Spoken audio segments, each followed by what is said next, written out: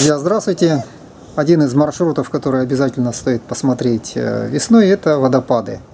И к таким водопадам относится, конечно, водопад Кесу.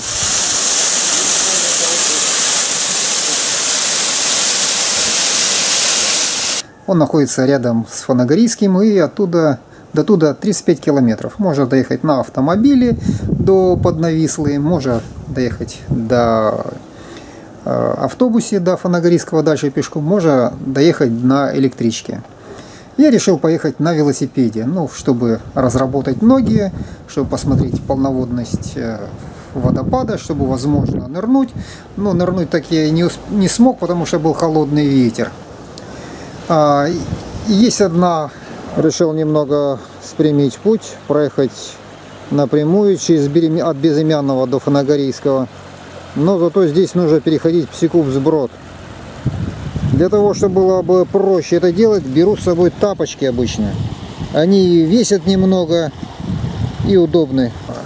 Небольшая тонкость, если вы хотите сократить э, расстояние или сократить э, сложность этого пути, то стоит на велосипеде ехать не по грунтовой дороге, а доехать до Безымянного и с правой стороны, с левой, да, с правой стороны аэрографически а, добраться до Фанагорийской станции электрички и перейти в брод. Второй брод оказался совершенно неполноводным по щиколотку. Шел я в тапочках, чтобы облегчить себе груз. Проту поднависло совершенно несерьезный. Бывали времена, когда... О, и вода теплая. Прикольная вода. Чистая. Растение называется кликачка колхидская. Из него делают грузинское э, блюдо от джанджали.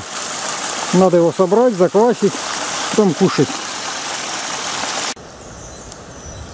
Красное растение называется скополия. Ну, что можно сказать? Много туристов попадается на пути, попадаются с палатками, попадаются те, кто а, туда едет на автомобилях с детьми, едут те, кто хочет искупаться в речке. Вот, вот такой вот маршрут.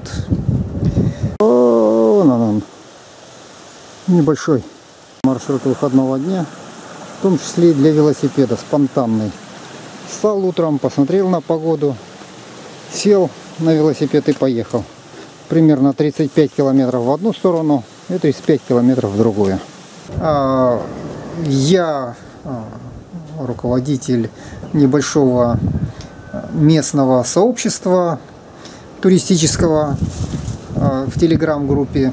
Если вы не любитель любитель путешествовать и не лежать на матрасе, то, пожалуйста, пишите мне, я подключу вас к телеграм-каналу. Спасибо. С вами был Сергей Михайлов.